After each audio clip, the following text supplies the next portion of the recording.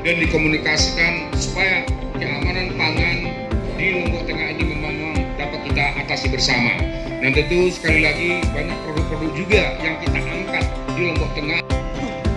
Uh, salam takzim Pak Bupati, sedianya Pak Wakil Bupati yang akan hadir membuka kegiatan ini